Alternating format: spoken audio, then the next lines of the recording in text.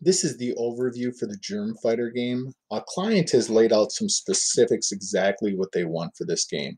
Uh, they want the hero, which they've given you the all the uh, files for this. Uh, if you go to the classroom, you can see all the files, audios, and uh, everything is laid out here for you.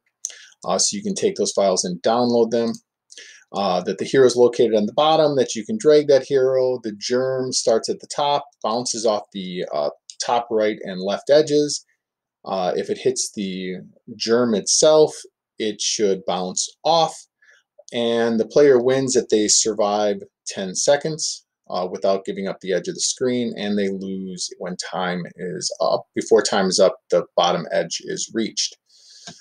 So just to show you the demo of this, we can see here I hit my start button, my character is draggable, uh, we have the sounds place, it hits, uh, I'm going to turn the sound off and reset, the reset button resets it.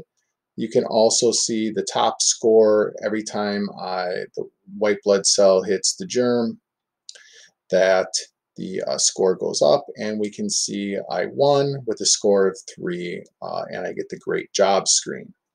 So this is the basis for design that you want to uh, create for the client. After creating that for the client, what you need to do is pitch the client other ideas. So you want to increase the playability of this game, which we've talked about multiple times. Maybe you can add lives to the game. Uh, maybe changing that game timer using an algorithm. And for every point you get, you get a certain amount of seconds added to your clock. Uh, increasing the difficulty, maybe multiple germs come on screen, or the speed of the germ uh, changes based on algorithms, or adding a level or a high score option. So it's really up to you to give you give the client exactly what they want, but then approving upon it with some other uh, skills and that you would find as a user um, more creative.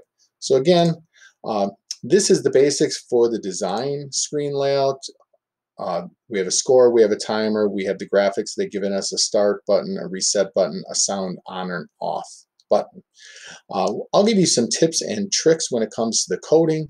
Uh, but this is really your time to shine uh, as we're into semester uh, two of this course to show what you're able to code and make a game that you're proud of.